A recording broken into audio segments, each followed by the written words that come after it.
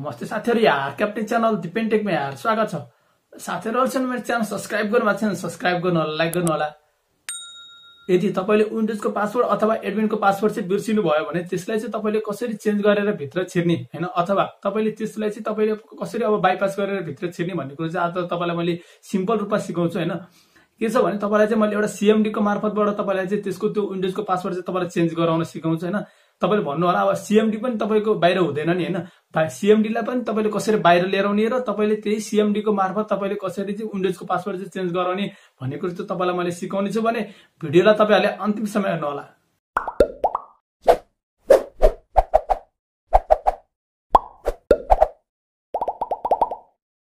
सर्वप्रथम चाहिँ तपाईँले एउटा पेन ड्राइभलाई तपाईँले बुटेबल बनाउनु पर्ने हुन्छ होइन? पेन ड्राइभलाई बुटेबल बनाएर पनि गरे भयो होइन?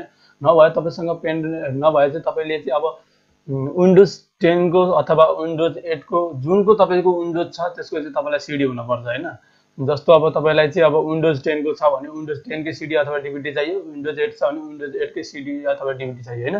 नभए यो नभए चाहिँ तपाईँले अब एउटा पेन ड्राइभ तपाईँले लिनु सक्नुहुन्छ त्यो पेन ड्राइभ चाहिँ तपाईँको कति हुनुपर्छ भने मिनिमम आठ जिबी हुनुपर्छ होइन? त्यसलाई चाहिँ अब बुटेबल बनाउनु पर्छ बुटेबल बनाउनुको लागि चाहिँ हामीले चाहिँ के गर्नुपर्छ त भन्दा एउटा आइएस इमेज चाहिँ हामीले डाउनलोड गर्नुपर्छ होइन? आइएस इमेज डाउनलोड गर्नुपर्ने हुन्छ त्यो आइएस इमेज चाहिँ कसरी डाउनलोड गर्ने भन्ने कुरो पनि तपाईँलाई मैले विन्डोज टेनको चाहिँ मैले सिकाएको छु। यदि तपाईँसँग जुन विन्डोज छ त्यसैको तपाईँको विन्डोजको आइएस इमेज चाहिन्छ होइन? त्यसरी नै तपाईँले तपाईँ यसले चाहिँ डाउनलोड गरेर यहाँ आइएस इमेज डाउनलोड गर्न सक्नुहुन्छ। त्यसको लिङ्क पनि म तपाईँलाई डिस्क्रिप्सनमा दिन्छु विन्डोज टेनको आइएस इमेज कसरी डाउनलोड गर्ने भन्ने कुरो होइन? तपाईँलाई सिम्पल तरिकाले सिकाएको छु।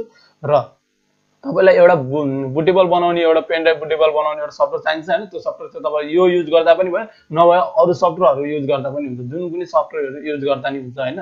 तपाईँलाई मैले भनेको छु। र तपाईँलाई पेन ड्राइभ कसरी बुटेबल गराउने भन्ने कुरो पनि तपाईँलाई मैले डिस्क्रिप्सनमा यसको भिडियो एउटा दिन्छु होइन? त्यहाँबाट पनि तपाईँले पेन ड्राइभलाई बुटेबल गराउन सक्नुहुन्छ होइन? तपाईँले त्यहाँबाट हेर्न सक्नुहुन्छ कि यो युज गर्नु कि चाहिँ यो मेथड युज गर्नु होइन? यो दुइटा मेथडमा एउटा युज गर्नु मैले भनेको छु र अब चाहिँ हामीले यो बुटेबल बनाइसकेपछि चाहिँ अब चाहिँ हामीले चाहिँ के गर्नुपर्ने हुन्छ त भन्दा एउटा स्टेप वाइज फलो गर्दै जान पर्ने हुन्छ त्यसमा चाहिँ अब तपाईँलाई मैले देखाउँछु तपाईँले यहाँ देख्न सक्नुहुन्छ यो पासवर्ड हान्ने ठाउँ भयो होइन? यो पासवर्ड हान्ने ठाउँ हो अनि त्यसपछि लाएर चाहिँ अब यसमा चाहिँ मलाई यसको पासवर्ड थाहा छैन अथवा मैले यसलाई चाहिँ अब पासवर्ड नहानेको नि यहाँनिर अब यतिकै पासवर्ड थाहा नभइसकेपछि कसरी हान्ने हो होइन? अब यसको लागि चाहिँ अब तपाईँले सर्वप्रथम चाहिँ म यहाँ एउटा कुरो के सिकाउँछु भन्ने यहाँनिर तपाईँलाई देखाउँछु नि। अब जसमा चाहिँ तपाईँले यहाँ देख्न सक्नुहुन्छ यो एउटा यहाँनिर तपाईँले यो एउटा टुलकिट छ होइन यसलाई चाहिँ तपाईँले यहाँ क्लिक गर्दाखेरि चाहिँ यहाँनिर के आउँछ त तपाईँले यहाँ देख्न सक्नुहुन्छ। यहाँनिर अन स्क्रिन किबोर्ड भनेको छ। मैले चाहिँ यहाँनिर अन स्क्रिन किबोर्ड भन्ने छ यहाँनिर तपाईँले देख्न सक्नुहुन्छ। यसलाई क्लिक गर्दाखेरि चाहिँ तपाईँको यहाँ अन स्क्रिन किबोर्ड भन्ने किबोर्ड आउँछ एउटा होइन। यो किबोर्डको ठाउँमा चाहिँ मैले तपाईँलाई कमान्ड फर्म लिएर आउँछु यहाँनिर होइन? जस्तो तपाईँलाई कमान्ड सिएमडी लिएर आउँछु यहाँनिर होइन? त्यसबाट नै हामीले काम गर्ने हो होइन? त्यसमा चाहिँ कसरी गर्ने भन्ने कुरो पनि तपाईँलाई देखाउँछु होइन? तपाईँले यसमा चाहिँ अब तपाईँले अरूलाई पनि युज गर्न सक्नुहुन्छ अरूमा पनि लिएर आउन सक्नुहुन्छ होइन? तर मैले चाहिँ अहिले यसमा यो अन स्क्रिन किबोर्ड भन्ने ठाउँमा क्लिक गर्दाखेरि चाहिँ मैले एउटा कमान्ड भन्ने लिएर आउँछु होइन? त्यसलाई चाहिँ अब कसरी गर्ने त नि भन्दाखेरि चाहिँ मैले चाहिँ अब पेन ड्राइभलाई मैले हालेको बुटेवाला पेन ड्राइभलाई मैले हालिसकेको प्लग गरिसकेको छु होइन? अब चाहिँ यसलाई मैले रिस्टार्ट गर्छु होइन? रिस्टार्ट गर्छु। रिस्टार्ट गरेर मैले चाहिँ बुट गराउनु पर्ने हुन्छ बुटमा लानु पर्ने हुन्छ त होइन? तपाईँको चाहिँ अब जुन बुटको अप्सन जुन छ त्यही हान्नुपर्ने हुन्छ होइन? या मैले एफ टुवेल्भ हानेर आएँ होइन? त्यसपछि चाहिँ मेरो चाहिँ कुनमा भने मैले युएसबीमा युएसबी हो युएसबी चोइस गरेँ। र मलाई यहाँनिर एउटा कुनै हान भनेको छ होइन प्रेस गरेँ। तपाईँले देख्न सक्नुहुन्छ अब चाहिँ यहाँनिर तपाईँलाई यहाँनिर यस्तो आएको छ होइन? अब यसलाई चाहिँ हामीले के गर्न पर्ने हुन्छ भन्दा यसलाई नेक्स्ट गर्नु होइन? नेक्स्ट गरिसकेपछि यसमा इन्स्टल गर्ने होइन? है इन्स्टल नगर्ने र यसमा कहाँ जाने भने रिपेयर यर कम्प्युटर भनेको छ। यसमा जानुहोस् होइन? यसमा गइसकेपछि चाहिँ अब यहाँनिर तपाईँले टुवर सुट भनेको छ। यहाँनिर तपाईँले यसमा क्लिक गर्न पर्ने हुन्छ। यसमा जानुहोस् होइन? अनि तपाईँले यहाँनिर देख्न सक्नुहुन्छ कि सिस्टम इमेज रिकभरी भनेको छ। तपाईँ यसमा जान सक्नुहुन्छ र तपाईँले यसलाई अनि त्यसपछि ल्याएर विन्डो टेन भन्नेमा क्लिक गर्नुहोस् होइन?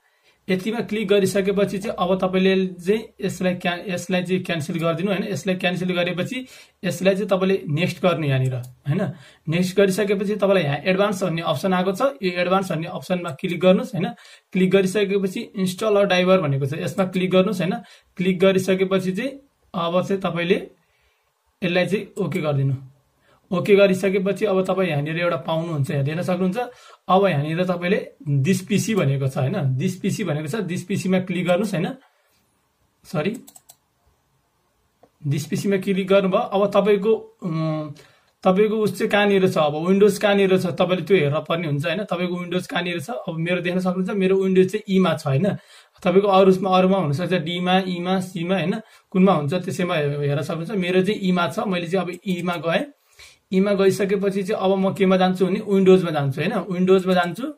विन्डोजमा गइसकेपछि चाहिँ अब मैले सिस्टम थर्टी टू हेर्न पर्ने हुन्छ यहाँनिर। सिस्टम थर्टी टू यहाँनिर देख्न सक्नुहुन्छ सिस्टम थर्टी टूमा मैले क्लिक गरेँ होइन? अब सिस्टम थर्टी टू भित्र चाहिँ मैले अब के केलाई मैले रिप्लेस गर्ने भनेको छु त अनस्कोड अनस्क्रिन किबोर्डलाई चाहिँ मैले रिप्लेस गर्ने भनेको छु नि त होइन? त्यसलाई चाहिँ मैले अब अनस्क्रिन किबोर्डलाई चाहिँ मैले यहाँ सर्च खोज्न पर्ने हुन्छ। अनस्क्रिन किबोर्ड भनेपछि यो चाहिँ ओ पछि होला होइन? अनस्क्रिन किबोर्ड यहाँनिर कहाँनिर छ है?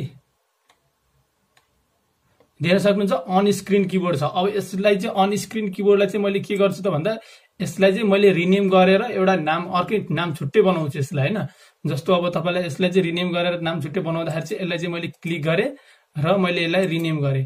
रिनेममा चाहिँ अब यहाँनिर चाहिँ मैले के गर्छु भन्दा रिनेम अन स्क्रिन किबोर्डमा मैले यसमा चाहिँ वान थपिदिएँ होइन? यसलाई वान थपिदिएर मैले यसलाई जस्ट गरेर रिफ्रेस गरिदिन्छु अब। रिप्लेस गरेँ अब अन स्क्रिन किबोर्डको त्यो नाम चाहिँ चेन्ज भएको छ कि छैन एकपल्ट हेरौँ है।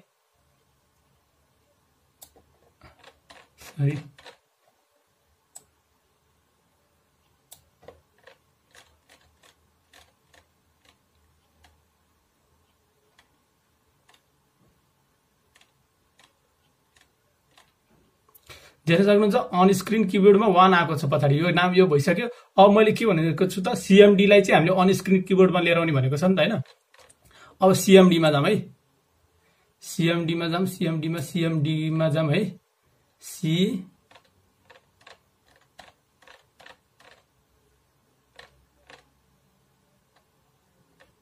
देख्न सक्नुहुन्छ सिएमडी छ। अब यो सिएमडीलाई चाहिँ हामीले रिनेम गरौँ यसलाई है।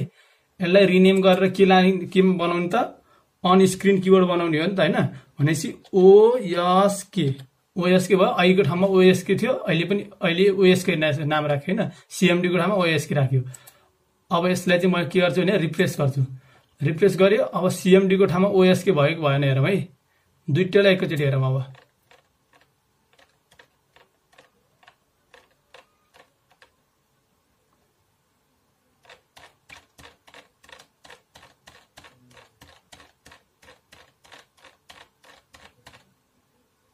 हेर्न सक्नुहुन्छ ओएसके यो यो सिएमडी हो।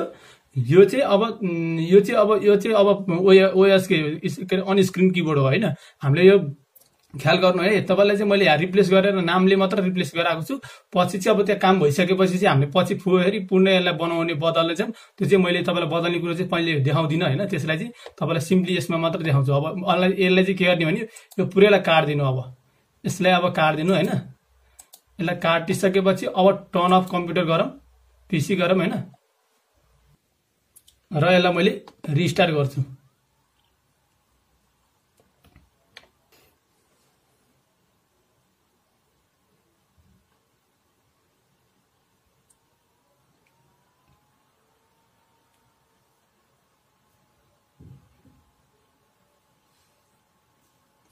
आइसकेको छ। अब यसलाई यहाँ चाहिँ अब तपाईँलाई मैले के देखाउँछु भन्दा तपाईँले चाहिँ यहाँ देख्न सक्नुहुन्छ अब यहाँनिर अब मैले अघि अनस्क्रिन किबोर्ड भनेको ठाउँमा चाहिँ के आउँछ त तपाईँले यहाँ सिम्पली रूपमा तपाईँले देख्न सक्नुहुन्छ होइन?